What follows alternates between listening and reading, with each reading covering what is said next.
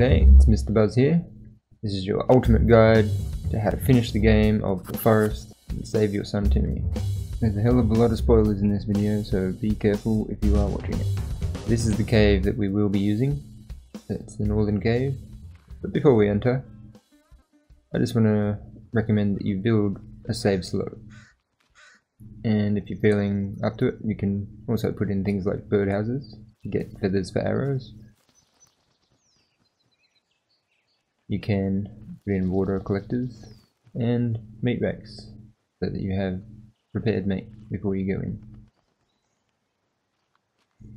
And if you really want to go to the extremes, you can set up things to get uh, other supplies. Such as the armor, bone armor, or creepy armor. Uh, explosives on an explosive rack um, and you can also build a shelving system, store meds and alcohol, so that you're all stocked up when you're ready to go in. Speaking of things that you might need when you go into the cave, I'm going to go through my inventory and not only with the items that you do need to finish the game, I'm going to go through some items that I recommend taking in. To begin with, um, we have the rebreather, um, and we have some air canisters for that. So one item that you do need. The climbing axe is a second item that you do need. And last but certainly not least, the keycard to enter the last parts of the game. So once you have these items, you are then ready to forward on to the rest of the game. I recommend taking in a full stock of dried meat. Now here I don't have the fish, but you can take that in as well. Uh, saves you cooking. If you really want to, you can take small meat, and that will help you along. You just have to build fires for that. Water, whether it's in a water skin or your pot, or both, is highly recommended. Uh, hydration is something you need to keep an eye on. Soda can give you energy, same as the snacks. So if you fill up your supplies with these, then you should do okay. Berries, both the blueberries and blackberries, give you energy, fill your stomach, and rehydrate you, so they're good. Now, my favourite weapons are explosives against the final boss.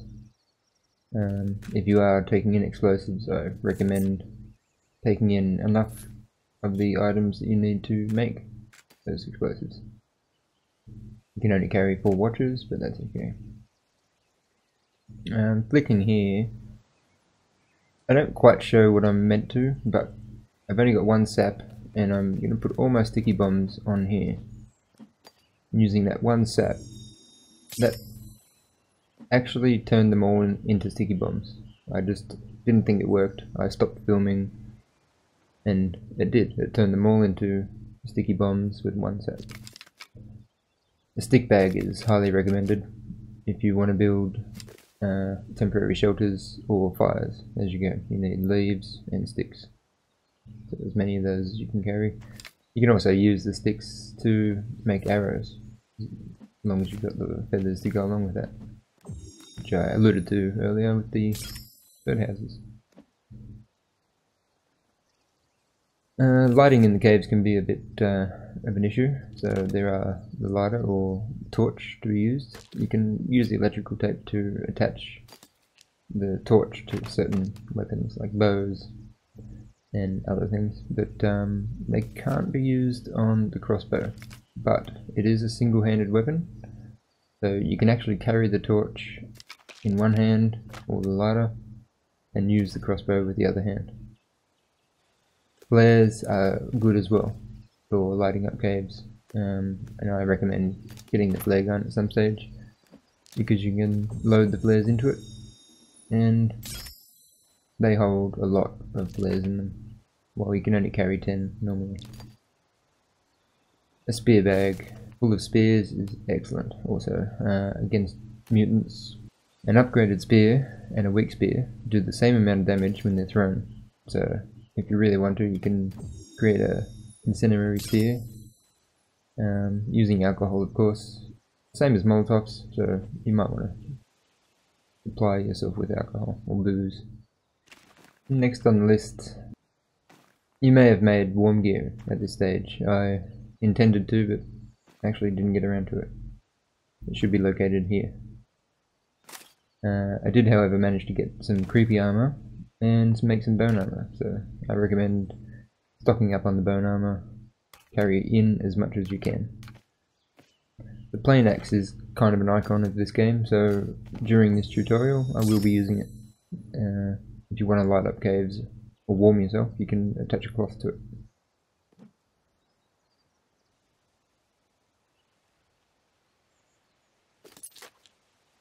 There's a flintlock pistol in the game, and if you manage to collect all 8 parts, as I have here, you can take that in. I'm going to take it in because I want to use it against the final boss.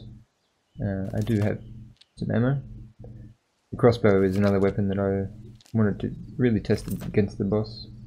Um, it's a new item.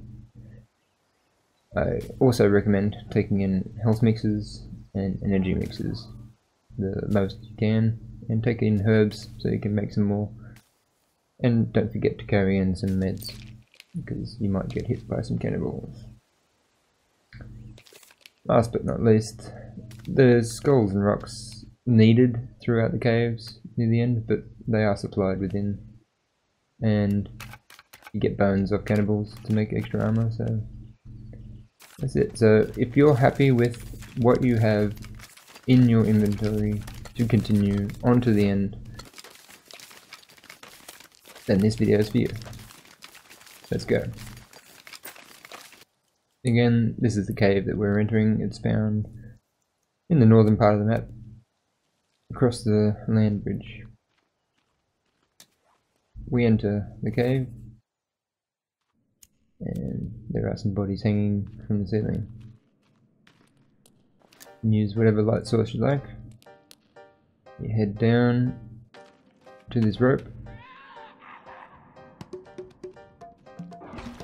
There is an armsy and some cannibals down here. Once you get past them, you've got to bust your way through this wall. Once you've busted your way through, you come around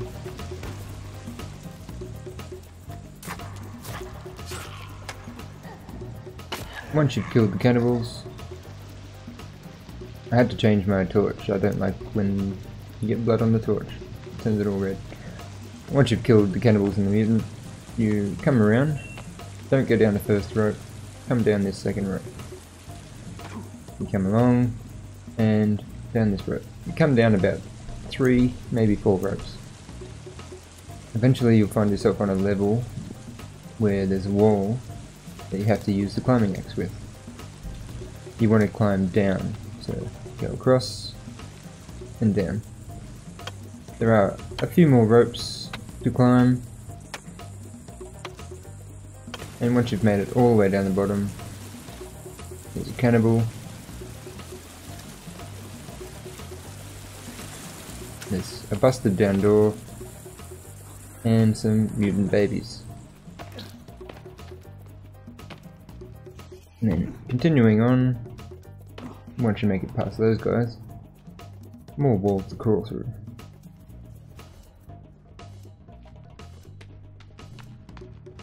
You enter through this room here, and we go down that rope.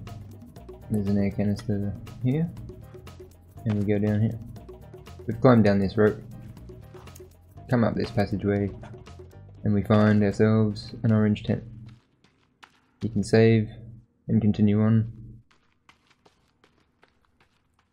There are more cannibals up here. And there is another wooden wall that we have to knock down.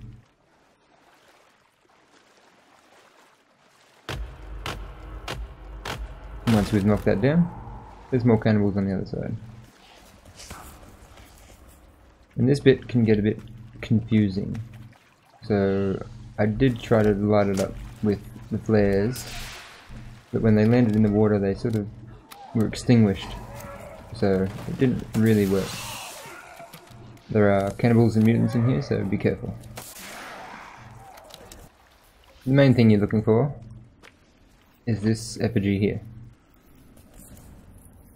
Follow this passageway behind it until you see this wall and you bust it down and there's more cannibals on the other side.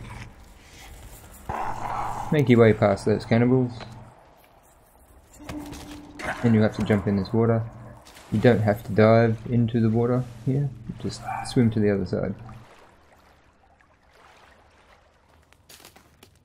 Once you've made it to the other side, there's a wall you have to blow up. So if you have dynamite or explosives, excellent. If you don't, then you will need them. You can crawl up this wall, or jump up the side here, and if the mutant gets trapped down there, they can't get back up. And there is two of them in this section. That's the door you're looking for. Use these stones to put on the pedestal. Three to four stones, and that will open the door. Go on through. And then there are cannibals. Once you've dealt with the cannibals, in whatever fashion you like.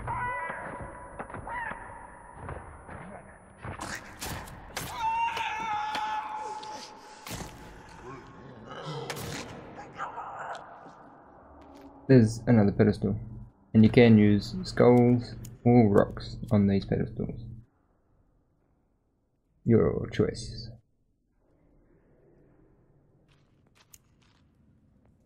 Continue on through the door. And there's a bridge that you got to cross, and we'll cross that bridge when we come to it. And we'll crawl through this crevice.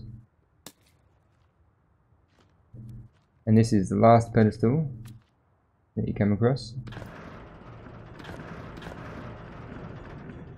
Before you open up the door to the bottom of the sinkhole. Now, there are other ways to get down inside the sinkhole. a new item added into the game recently in update 1.1 was the glider and I decided to take the glider down into the sinkhole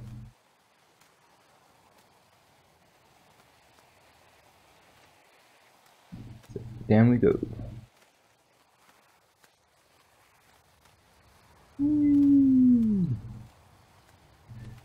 The only thing I'll mention here is to be careful not to get caught in the helicopter.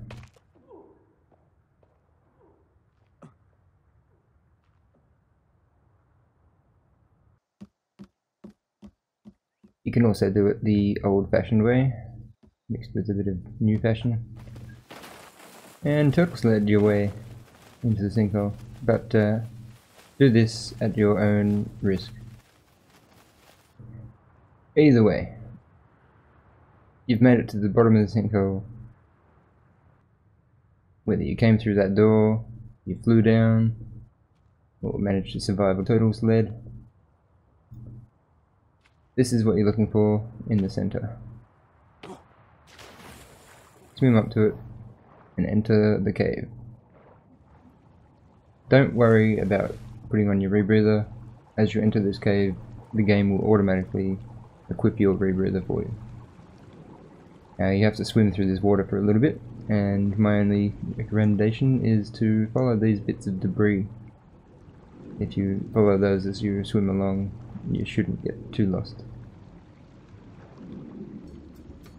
And once you've made to the other side, you will be cold and wet.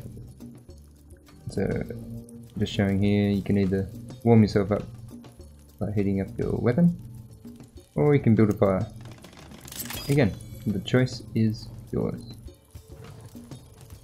But I will repeat, while you're in a cave and swimming in water, you tend to get cold and wet. So you need sticks and cloth to make a fire and warm yourself up. Now we skip along, there are still story items down here and more ropes to climb. Once you've come down that rope, you've then got to climb up this wall with your climbing axe.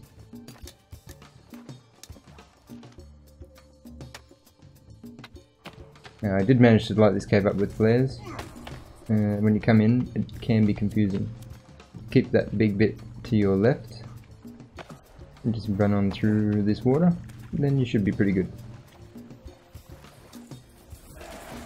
You'll find an orange tent. It's the last orange tent that you can save the game at before going on to the end. So, once you've done that, if you wanted to, continue on up this hallway. And you'll find a picture on the on the ground and a doorway.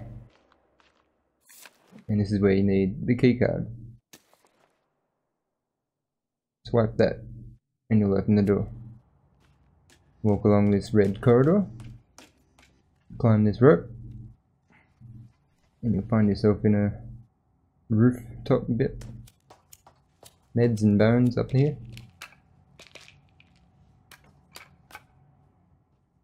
Continue along, you'll find this hole. Drop down the hole.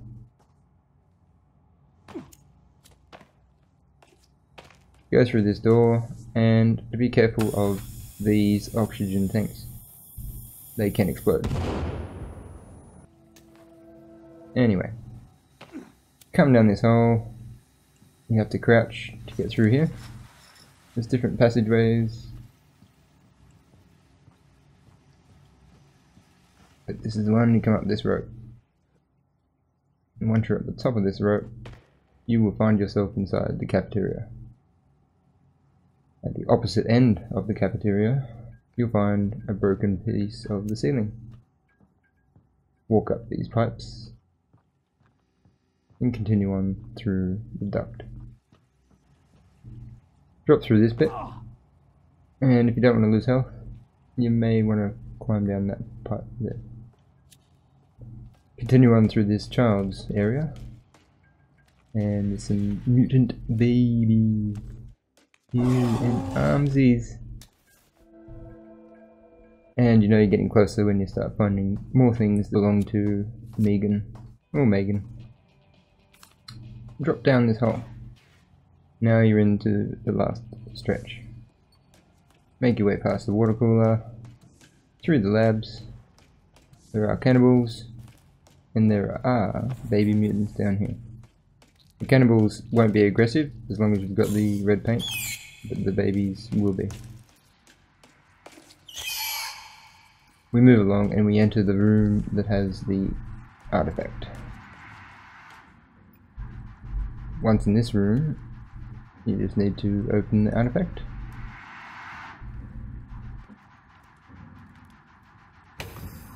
Get your son Timmy.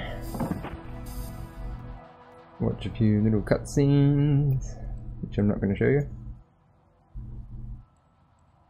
Can't spoil everything for you. Once you're satisfied that he's hooked up to the machine, then uh, continue on. Now I recommend sleeping here, or you may not have to, but if you get killed during the boss fight, that's where you will come back to. You've entered a big room now. Um, it's kind of weird, but anyway, uh, there's a kid at the end sitting nice and quiet. And it's when you approach her, things begin to get interesting.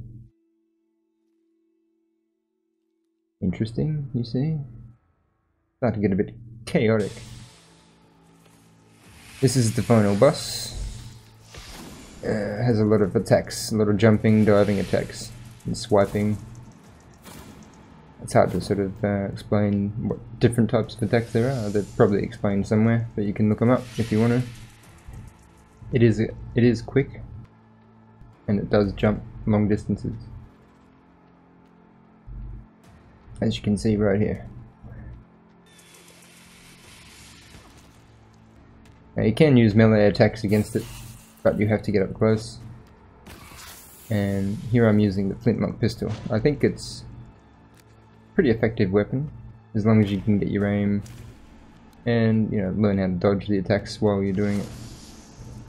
It is slow to reload, but um, I don't know. I think maybe the damage is worth it. But another weapon that I really wanted to test was the new one, the crossbow. It's also slow to reload, and I think if you can master how where to aim, it would be actually a very good weapon against the final boss because you can see the crossbow bolts stuck in the boss and you can get them back. My personal favourite is explosives. They do a fair amount of damage to the boss. if you stick them to the ground, lead the boss into them, that's a nice little thing. If you can get a perfect throw like that one, sticky bombs will stick to this boss. Uh, be careful where you're throwing them, because a missed throw, a wasted explosive. That's why I like to stick them on the ground and lead the boss into them. Uh, I've got some footage here too of a turtle shell. I don't really know why I stuck this in, but just to prove it actually protects against the hits. This is a normal game that I'm in here, and I'm not taking any damage. Except from that one. Oh, that's bullshit. Fucking bullshit. And again, these oxygen tanks, nice little tip, they explode and do damage. Head bombs.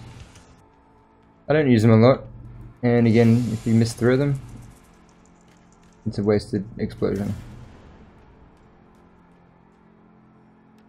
I think after all that, my final conclusion might be that the crossbow is actually a very effective weapon against the final boss. And once you've killed the final boss, you'll find this little girl.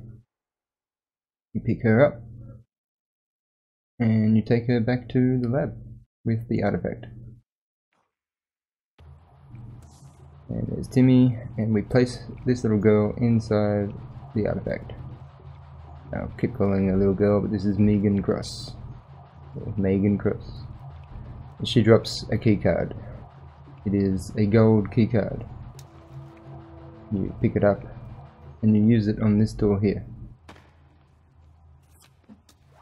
You will now continue on towards the very ending of the game. Uh, you will pass through some cave sections and some facility sections. Crawl through some walls. Like this one. You'll also climb down some walls. It's a pretty big one, you can jump down, but I don't recommend it. You'll also have to swim for a little bit, and again, if you follow these debris, or in this case it's a light, you should be pretty good. You come across another pedestal. There again are rocks supplied. Place the rocks on the pedestal and the door will open. Continue on through. Don't go down there and it doesn't matter if you go left or right. My habit is to go left. You'll find your way through more facility area and climb yourself through some more cave area again.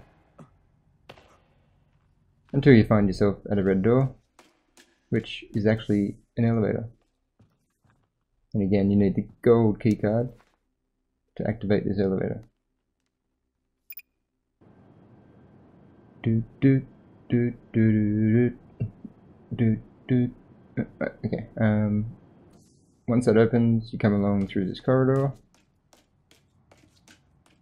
and you will find yourself in a room with a big blue machine on the roof.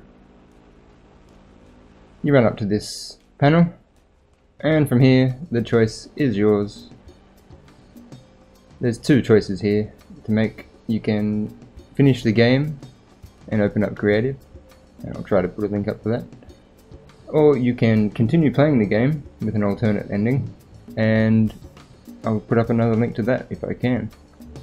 Um, so hope this video helps you get to the ending to save your son and finish the game.